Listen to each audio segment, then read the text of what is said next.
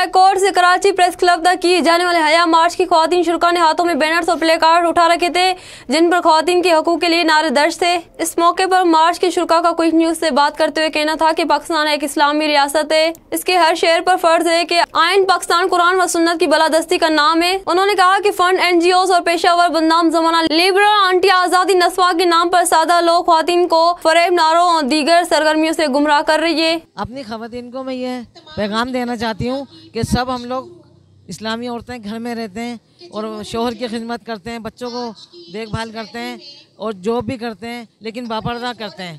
تو ان لوگوں کے لیے یہ پیغام ہے کہ جو یہ پھیلا رہی ہیں عورتیں، انہیں چاہیے کہ وہ بھی پردے میں رہیں۔ دیکھیں، جو خواتین یہ کہہ رہی ہیں کہ میرا جیسے میری مرضی، تو وہ بالکل سراسر غلط کہہ رہی ہیں۔ وہ اس لیے کہ ہمارا مذہب، ہمارا رب کیا کہتا ہے؟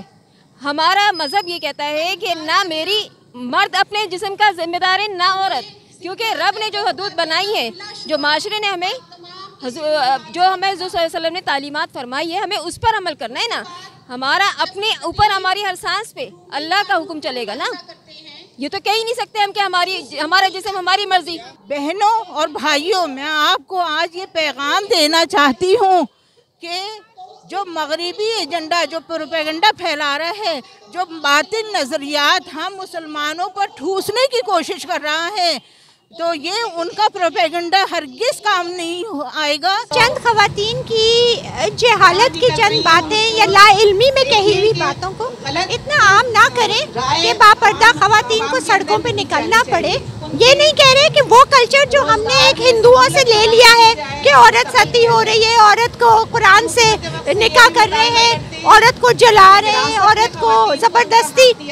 ہم اس کے حق میں نہیں ہم ان حقوق کے حق میں ہیں جو ہمارے آقا صلی اللہ علیہ وسلم نے ہم کو دیے ہیں۔ شرکا نے حکومت سے مطالبہ کیا کہ ایسی غیر ملکی فنڈ سے چلنے والی این جی اوز کا محاسبہ کیا جائے جو ڈالرز اور ویزوں کے حصول کے لیے ہر غیر آئینی سرگرمیاں منظم کر رہی ہے۔ لمحہ ہر خبر سے اپڈیٹ رہنے کے لیے خبر سیاسی یا ملک کے بحران کی کے مرجائے ہوئے چہرے پر مسکراہٹ لانے کی بات۔ ہم بنیں گے آپ کی آواز۔ سبسکرائب کیجیے پاکستان کے سب سے بڑے ویب ٹی وی۔